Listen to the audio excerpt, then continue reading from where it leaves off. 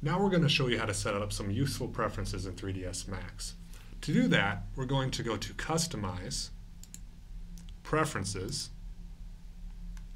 and you'll see the preference setting window.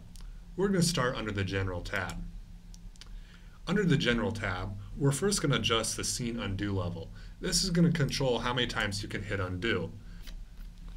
I'm going to set my levels at 50. I don't think it's very often that I go beyond 50 steps that I want to undo.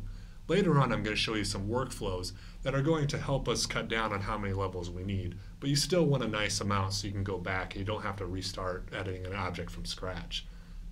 I will warn you though, don't go crazy and crank these levels way up. I have heard about it kind of corrupting files and creating some problems with 3ds Max when it's saving that much information.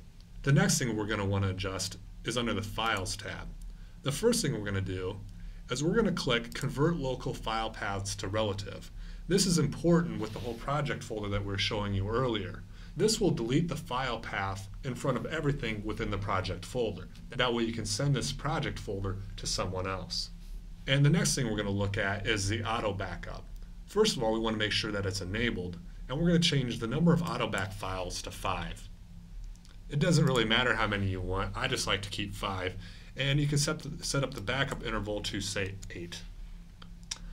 Auto backup is going to save you the worry of having to back up your own files. Choosing 5 auto back files will mean that it will save 5 separate files. You can adjust that up or down, however many files you might want.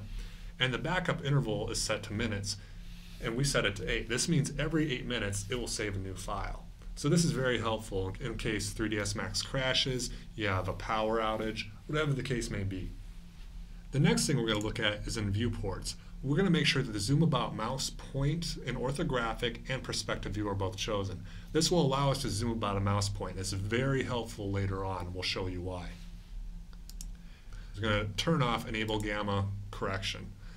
So we're going to click OK. And the last thing we're going to want to do is set up our project units. We can do that by going to Customize, Unit Setup, and we can change our units. We can change it to, to metric, we can go to US, we can have decimal, we can have fractional inches, feet with fractional inches, feet with decimal inches. That's why I like to work in. You can, you can even set up the lighting units. So we'll click OK, and we set up our settings.